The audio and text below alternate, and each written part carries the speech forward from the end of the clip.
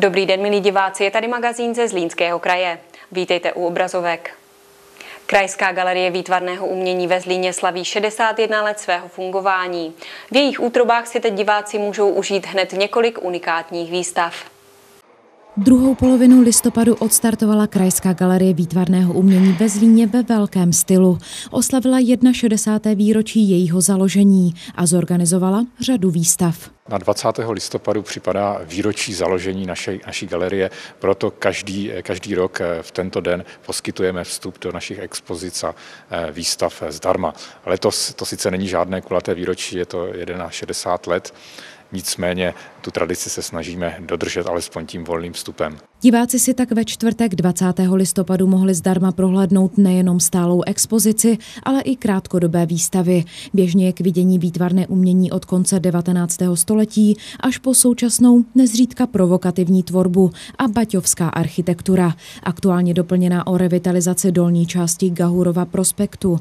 Videorum nabízí tvorbu Tomáše Rulera, zakladatele českého videoartu a body artu. Performanci se věnoval už od 80. let a dostal se do konfliktu s tehdejší vládní mocí. No a co se týká těch regulérních krátkodobých výstav, tak eh, máme otevřenou výstavu eh, Nezval a Kuběna, eh, což jsou vlastně jména, které patří dvou významným českým básníkům, které mnohé spojuje a mnohé, mnohým se také liší.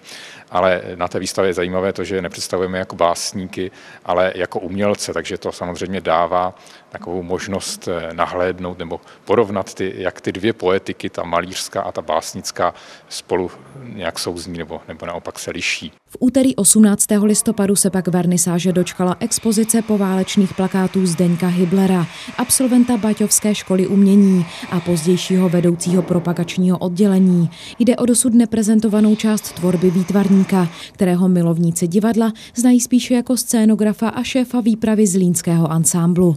Další výstava s názvem Dívka před domem se otevře v neděli 23. listopadu. V 15 hodin budeme mít eh, vernisáž eh, výstavy Juraje Gábora. Juraj Gábor je eh, laureát, čili nositel eh, ceny Igora Kalného, což je jedna z cen, která se tradičně uděluje na Zlínském salonu mladých, takže v neděli v 15 hodin budeme otvírat jeho velmi, velmi zajímavou instalaci, takže srdečně zvu. Zajímavým nápadem Krajské galerie výtvarného umění ve Zlíně je také autobusový výlet za současným uměním a architekturou na Slovensko. Kunstbus, který se má uskutečnit eh, v sobotu, což je teda jakýsi takový jakoby výlet s odborným programem s odborným výkladem do Trenčanských teplic a zejména eh, do Žiliny. Eh, pořádáme vlastně v rámci eh, naše jednoho projektu, který děláme ve spolupráci s takovou galerií v Žilině, která se jmenuje Stanice, nebo je to spíš takové kulturní centrum. Když se to osvědčí, tahle ta forma, tak samozřejmě uvažujeme o tom, že by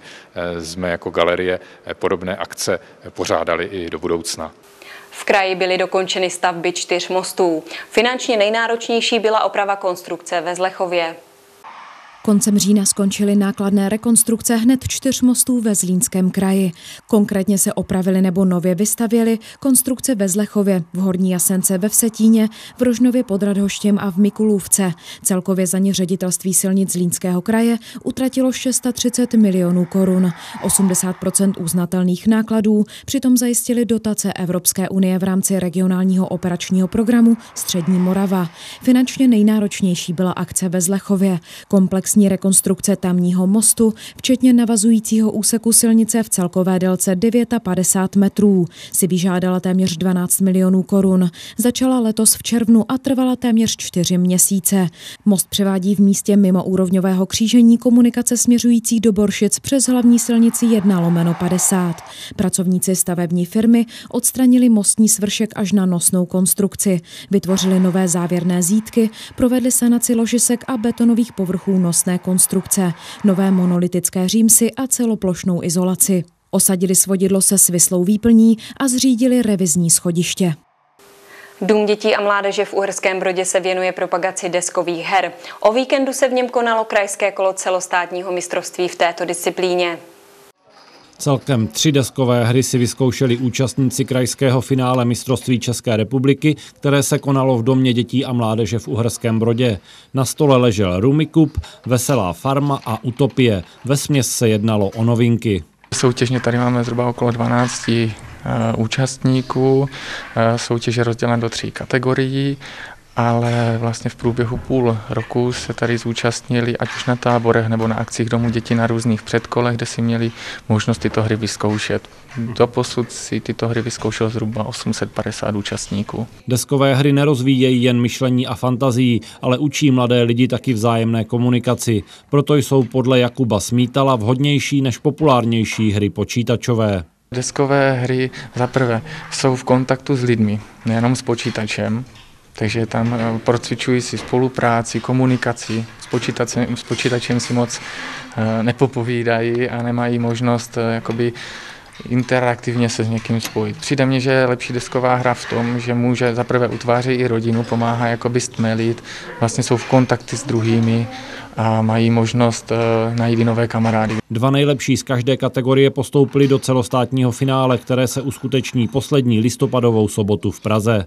Zájemci o deskové hry z Uherskobrodska se pak scházejí každý čtvrtek na detašovaném pracovišti Domu dětí a mládeže v Nivnici. Telefonát o tom, že v areálu Křižanovy pily ve Valašském Meziříčí hoří, přijali hasiči v úterý v podvečer. Na místo vyjeli jednotky profesionálů i dobrovolníků. Přivolány byly také posily z podnikové jednotky firmy Deza. Hoří areál bývalé pily, eh, máme zřízený štáb velitel zásahu, místo události je rozděleno do dvou úseků.